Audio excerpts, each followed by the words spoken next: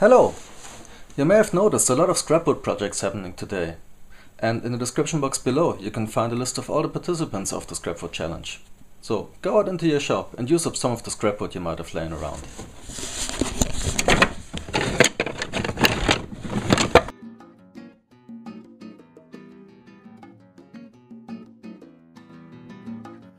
This is actually another great way to use up the scrapwood in your shop, because you only need a thin piece of stock or plywood for the bottom, a small chunk of wood that will be the body of the box, and another thin stock that will be the top.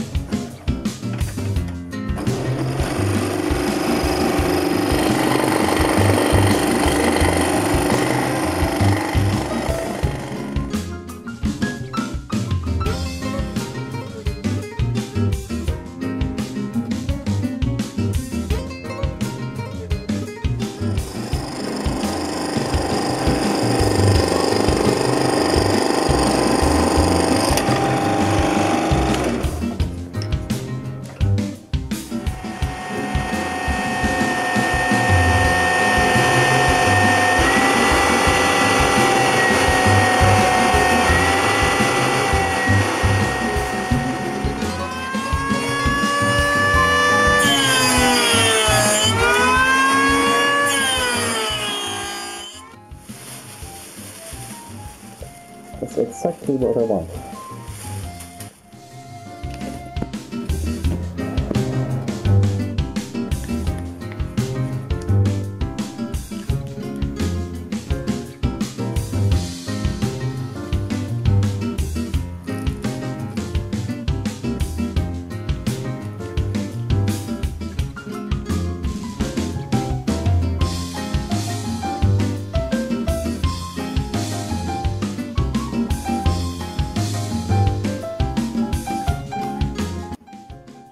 Now it's time to glue the bottom to the box.